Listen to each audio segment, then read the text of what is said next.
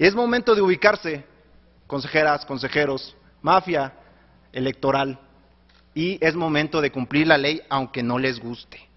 Hoy, por mandato de la representación popular, Lo voy a interrumpir, señor representante, para invitarlo.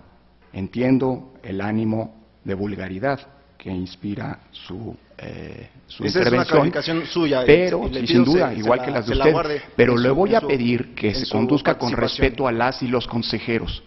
Usted acaba de hacer una intervención ofendiendo a las y los consejeros y eso, mientras yo ocupe esta presidencia, no lo voy a permitir. Continúe, por favor, con su intervención.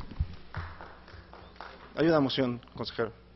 Continúe con su intervención. con mucho gusto continúo. No he ofendido a nadie. Hablar de la mafia electoral es algo que hemos hecho y, y- y lo sostengo. Hay una mafia electoral incrustada en el Instituto Nacional Electoral. Y me referí a las consejeras y consejeros al decirles que es momento de que cumplan la ley aunque no les guste. Nada más para aclarar. Este es el mandato de la representación popular de las y los mexicanos. Por disposición de la ley, hoy cesan las funciones de la Secretaría Ejecutiva actual, no de Edmundo Jacobo en particular.